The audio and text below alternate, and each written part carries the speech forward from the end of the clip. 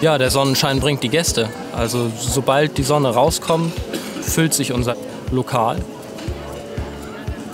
Vor 222 Jahren oder 223 Jahren wurde die Forstlehranstalt gegründet seinerzeit. Äh, war dann ähm, eben auch für Spaziergänger Erholungsort, bis dann die Stadt äh, gesagt hat, gut, äh, wir machen mal eine Ausschreibung und lassen Architekten mal ein Gebäude entwerfen, an dem man dann einen Ort der Erholung schaffen kann für die Kieler.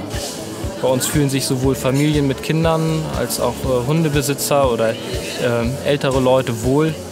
Es ist ein Ort, an dem die Menschen ihre Energie tanken können. Alle, die vom Alltag gestresst sind, kommen hierher, setzen sich ob in, den, in die Sonne, wenn sie da ist, oder in den Schatten und äh, können sich hier erholen.